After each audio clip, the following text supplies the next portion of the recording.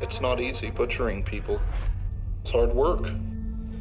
Physically and mentally, I don't think people realize you need to vent.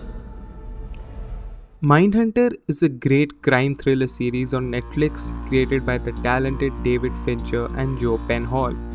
The inspiration for the show came after Charlize Theron handed Fincher a book with the same name by John Douglas, that is, the real life Holden. Mindhunter is about two FBI agents trying to figure out how a serial killer's mind works and why they do what they do. This is a very interesting concept and one that is portrayed exceptionally by the creators of the show from the direction, the cinematography, the editing, the casting, and even its eerie background score along with the well themed soundtrack. The show has the same style of editing that we have seen in Fincher's movies before. For example, his camera pan techniques and even the Wayne Williams flashing Easter egg in season 2, episode 6 of the show reminds us of his old work in Fight Club. He has imprinted the show with his perfectionist and detail oriented style to movie making. Every scene, every shot, every camera move, every line a character utters has a purpose behind it, with an effort to drive the story. Every detail says something. It's like this series was built for David Fincher because of his experience and interest in the same area making movies on serial killers like Seven and Zodiac, whereas movies like Social Network showcase his skill in depiction of real life events without having to exaggerate the facts or over dramatize, but still deliver. And there is much more to be inferred from the story as seen on the surface of it. So let's do a deep dive into the show. So, what is this series trying to convey? The purpose of this show is to understand the criminal mind and what to do when motive becomes elusive. This idea at the time of the events of the show was met with both excitement and criticism. But we now know how vital the impact of the work that is being shown is. The fact that these types of killers can live a normal life and live among us proves that they are skilled at manipulating people and portraying a false self image. For example, Ed Kemper had managed to convince everyone he was rehabilitated even though he committed heinous crimes after the fact. These killers have their own rationals and own justifications of their acts while being completely convinced there is nothing wrong with them. This show compels us to ask ourselves are criminals born or are they formed? Such type of thinking is established throughout the show and is a common theme tied in with the characters themselves and the future of Mindhunter. More on that later in the video. Mindhunter is more character driven than story driven. No doubt that it has a compelling story, but the characters and the dialogues between them drive the story forward. There is an emphasis on the character development by subtle changes within the characters episode by episode throughout the show referring to the same principles that are used to dive into the minds of the serial killers? What if we mind hunter the characters themselves? So, the main story revolves around three main characters of the story that are Holden, Bill, and Wendy. First, Holden. Holden is our protagonist and the most important character in the show. The show starts with Holden negotiating with the hostage taker, where he succeeds to save the hostage but not the taker, which leaves Holden disappointed by himself. This highlights the care and sympathy we know Holden has for his subjects and is the reason why he's so good at interviewing them. This incident incites an urge in him to do something useful with his job and is given a teaching job at the FBI. When Holden starts his first class, he sets the tone of the show as he explains how to deal with these types of people. But we see Holden alone with his ideas. That is until he meets Rathman and they talk about how the crime is changing. This is where Holden got interested in the path he would embark on. But he would only walk the path after being encouraged by Debbie. She plays an important role in his life as she challenges his thinking towards deviance from a sociological perspective. She takes him away from his naive FBI roots to a more open minded perspective. Later on, they go to watch a movie together where Holden talks about how he empathized with the characters of the movie even though they were criminals. Debbie definitely had an effect on him that helped him in his career. In the rest of the episode, we see him getting more and more interested in the psychology of a criminal mind up until he meets Bill. Here, we see their partnership emerge out of a mutual respect for one another, where Bill offers him a job and he gladly accepts. In the next episode, Holden develops an interest in talking to convicted killers and goes to meet Ed Kemper. Ed Kemper has a huge impact on the story of the show by how he influences Holden, because he is the one from whom Holden got most of his insights from. Kemper saw Holden as a friend, with Holden getting comfortable around him by telling him about his history, relationship, and even family. Immediately, Holden gets extremely intrigued with Kemper and slowly turns into an obsession. In the next episode, he meets Dr. Wendy Carr, who Holden really admires and respects because of their mutual interest and similar perspective to the criminal mind. Wendy, being the expert, gives his work meaning. He is always excited to discuss his observations with her, but he doesn't appreciate the rigidity and conflicts that Wendy poses in his methods, which creates a rift between them. Throughout the season, Holden interviews multiple subjects and even solves actual crimes due to the new information he's gaining. And we see his attitude change as he starts to become cocky.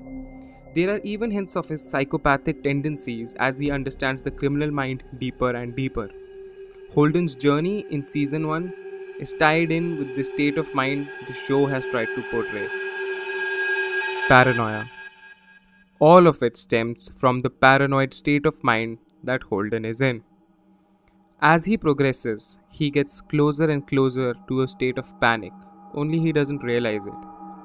Even after some reminders and warning signs presented to him by his co workers, Holden thinks that his job doesn't affect him, even though it subconsciously did. There's nothing wrong. If what we're doing doesn't get under your skin, you're either more screwed up than I thought or you're kidding yourself.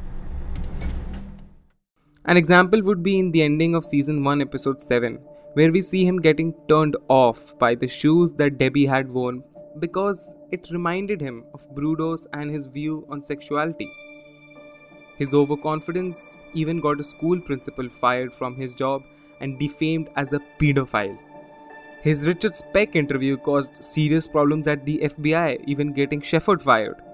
This attitude affected his relationship as well we see him getting insecure and insensitive towards Debbie, which results in Holden breaking up with her. Angry and frustrated, Holden ultimately seeks out Kemper and allows himself to be manipulated by him, thereby inducing a panic attack.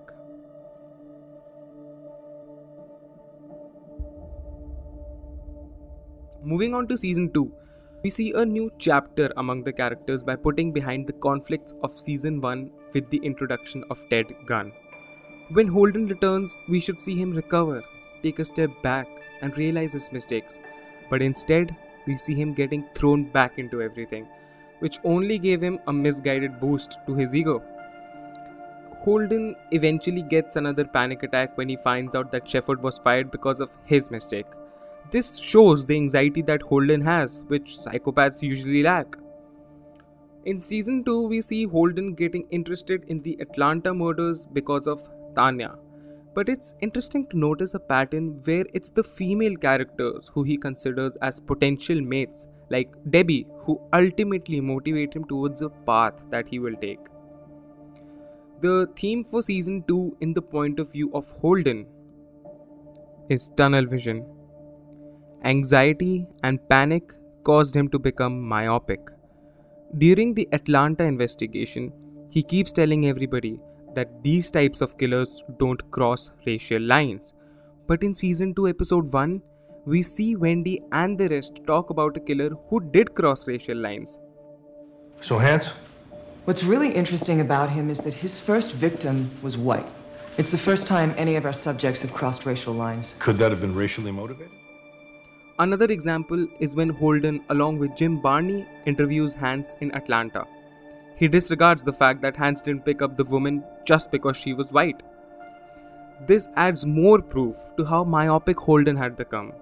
Holden ultimately catches Wayne Williams, who fit his profile, but ignored a lot of other possibilities because of that. Season 2 ends with Holden again disappointed for not doing enough. When he's at his home eating food, and gets a stain on his shirt, it's a direct callback to the events of season 1, episode 1, when Holden felt the same, disappointed for not doing enough, while he cleaned the stain on his shirt. Now, let's talk about Bill. Bill Tench is an old school cop, army man, and has a family of his own. But he can't seem to focus on them because of his work in the FBI, which causes Bill to develop anxiety issues and consequent habits. He is very secretive and doesn't share any of his problems or personal life. In season 1, we are shown only one side of Bill, away from his family, with some hint to his marriage problems. This anxiety even disrupted his work.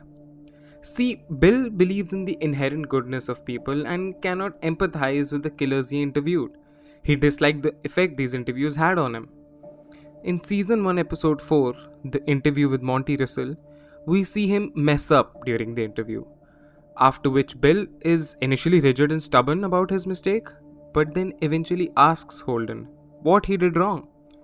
That is the exact moment when he crashes his car. This, I believe, is a parallel drawn by the writers of the show that Bill's fault in the interview was that he did not see the long term goals of their work, just like he didn't see the road ahead. This is also the first time when we see Bill opening up to Holden. It is in season 2 where we are shown Bill's other life, his source of anxiety, his marriage. Even though the season opens with a positive note in his marriage, it ends with his wife and children moving out. Bill can't connect with Brian and maybe even dislikes his home life. Throughout the show, Bill is bombarded with responsibilities from managing Holden to helping Wendy and to look after his family, especially with Brian's case. This kicks up his anxiety, and we see him take it all out in the Manson interview. This specific interview was important because it showed us how disturbed Bill actually was. He actively denied the idea that Manson only encouraged the kids to do what they already wanted to do. Bill wanted it to be simple that people like Manson can corrupt minds so that he doesn't have to deal with the fact that kids like Tex and even Brian may be aware about the actions they performed and may have something wrong with them. He also builds a rapport with Wendy. He was open with her about his anxiety, and together they also look out for Holden. Towards the end of the show, we see him relatively calmer because he tries to build a relationship with Brian. But sadly, it doesn't work out for him as his family moves out.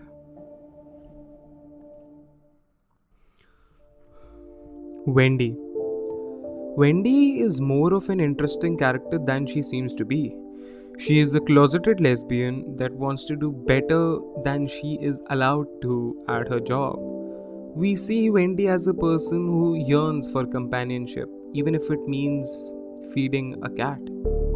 In season 1, she doesn't have much of a voice in what goes on in the BSU. She reprimands Holden for not conducting the work methodically. She moves away from her comfortable previous life, but now feels alone. Season 2 brings out a more confident side of her, where she manages to conduct the interviews without relying on Holden or Bill, and seems to be pretty good at it, all the while realizing that Holden's methods had some logic to them. In her personal life as well, we see her dating Kay, who she asked out herself, showing how confident she was starting to feel. Her breakup was also a sign of self reliance and not having to lean on anyone. All this character development will bring exciting things in the future of Mindhunter. Let's talk about what I think will be seen in the upcoming seasons of Mindhunter and the directions the show might take. First, Holden, Bill, and BTK. Bill and Holden have a special partnership. Bill respects Holden's ideas and his instinct, knowing that he has the skills to do good, even though he might condemn some of his methods. Holden looks up to Bill because of his experience and their shared interest in their work. Bill focuses on old school police work and grounded information, successfully maintaining professional relationships with people he comes in contact with, whereas Holden relies on his instincts to develop theories and doesn't care about professional bureaucracy. Their partnership work because one is offering what the other can't, and we will see this partnership go forward as they become a duo to be reckoned with. Throughout the show, we are shown glimpses of a serial killer in the works, which all of us know to be the BTK. We have already seen some investigation done into this by the pair, but more is yet to come. This way, Holden and Bill will become specialized in the practical and law enforcement side of Mindhunter. They will finally apply all the principles and everything they have learned throughout the show. Second, Wendy and her interviews. In season 2, Wendy herself took part in the interviews and she was a natural at it. She still has a lot to learn, but I believe that while Holden and Bill will now be focusing on the law enforcement side, Wendy will be handling the academic scope for the studies at BSU. Her character development shows us that she might be taking up the mantle of this job. After all, she's an expert. Third, Brian. The most important aspect of the show that is yet to be discovered is Brian. This aspect is the preventive aspect of Mindhunter, preventing killers to be formed in the first place. From the principles we have learned in the show itself, these types of people usually have a dominant mother and an absent father. Because Brian is adopted, it is unknown where he came from, who his parents were. So, it is possible that he may have faced some kind of psychological trauma. Nancy, as a mother, is dominant. Whenever there is a conversation, if it's with Holden or Nebby, with Bill, with their neighbors, or with the investigators involved in Brian's case, and we know Bill to be an absent father himself. Another sign is Brian's friends, the older kids. After all, it was the older kids who were involved. Was it really an accident? Was Brian manipulating them, or did he find friends that shared his ideals? We even see Brian stalking and staring at a girl. All of the signs that we are learning from the killers in the show, we can see developing in Brian. Another such sign is what Nancy says about Brian. The other day we drove by the house where it happened. He watched it go by and he blurted out, I want pancakes. Brian had no guilt or any sense of remorse about the incident. Bill takes Brian for an ice cream later in the show when he decides to bond with him. In the future of the show, we might see Wendy and maybe even Holden preventing Brian from developing this type of behavior. This will be the ultimate objective of the show preventing Bill's son to become a serial killer himself.